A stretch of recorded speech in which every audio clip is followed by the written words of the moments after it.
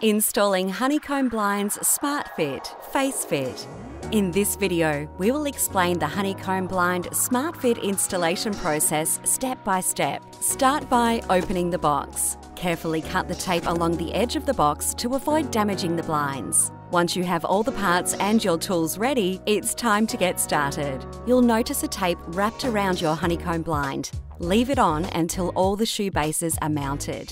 Using the ordered width and height of the blind, mark the four corners of the blind on the window frame. Screw the four L brackets inside of the marks you just made. Make sure the distance between the outsides of the L brackets is equal to the ordered size of your honeycomb blind. Now you can start attaching the shoe bases.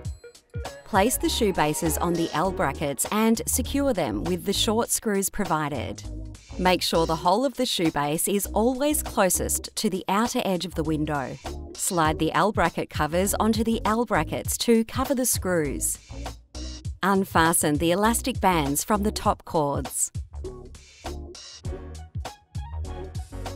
Slide the brackets over the shoe bases with the cords closest to the outer edge of the window. You will feel them click into place. Then attach the lower brackets in the same way. You can now carefully remove the tape on the blind.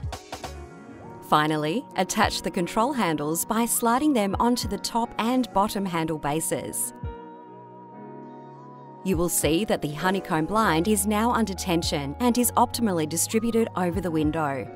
And you're done! Your beautiful blind is ready for use.